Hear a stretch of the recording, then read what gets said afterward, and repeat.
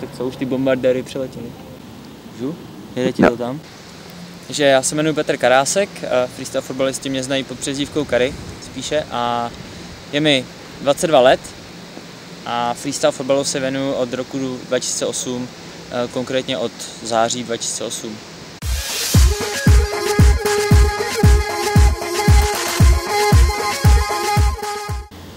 podařilo se mi vlastně po čtvrté za sebou vyhrát mistrovství České republiky, což je, je úplně neuvěřitelný. Já jsem měl jako když jsem s tím začal, tak jsem měl cíl vlastně to vyhrát aspoň jednou a teď se mi to podařilo po čtvrtý a ta cesta k tomu byla, byla dlouhá a musím říct, že poslední roky hodně nervózní, eh, protože vlastně hlavní soutěž Betly není jenom o laverech, ale je i o nových věcech, takže trošku lavery poslední dobou šly jako bokem, ale musím říct, že ta cesta nebyla moc lehká, no hlavně, že poslední roky se spoustu hráčů u nás eh, zlepšilo a musím říct, že vlastně Nejkvalitnější mistrovství, co jsem zažil, bylo právě to poslední, to čtvrtý, kdy se nás vlastně zúčastnilo i nejvíc toho mistrovství a ty triky opravdu byly na nejlepší úrovni za ty čtyři roky.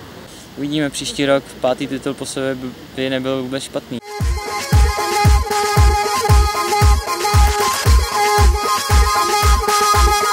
Krom toho, že vlastně mým snem bylo vyhrát to mistrovství České republiky, tak eh, poslední roky je mi hrozně líto, že u nás ten freestyle fotbal není tak populární a nedělá ho tolik lidí, jak bych si představoval. Tak bych chtěl mm, založit freestyle fotbalovou školu v Brně, doufám, že se mi to povede. Takže doufám, že o to bude zájem a hlavně díky tomu trošku e, více spopulárníme freestyle fotbal u nás v České republice a díky tomu by ho mohlo dělat více lidí. A byl by jsem na to pišnej, když by třeba e, někdo z té freestyle školy třeba byl někdy v budoucnu mým zástupcem, a stal se třeba někdy mistrem republiky. No na na seru. na obdivuju, no, ale roka ještě víc. Ale zpátky k tomu kombu teda. Co bych chtěl dát? Eh, chtěl bych strašně dát. A motivuje mě i Peťo Zapetal Eldo Combo Eldo a prostě já ho prostě do toho roku dám, ty. time with the stereo loud. Come on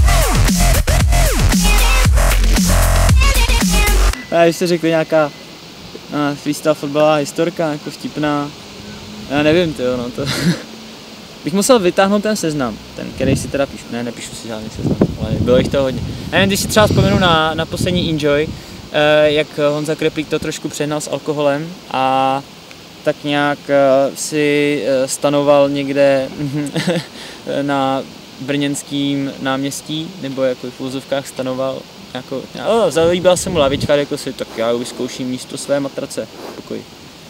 No a pak třeba na ježu, kdy uh, využil, uh, když měl jsem 18. narozeniny a vlastně jsme, jsem pořádal takovou jakoby slavu a pozval jsem freestylery, přijel i Tomáš Ježíšek. Čau Ježo.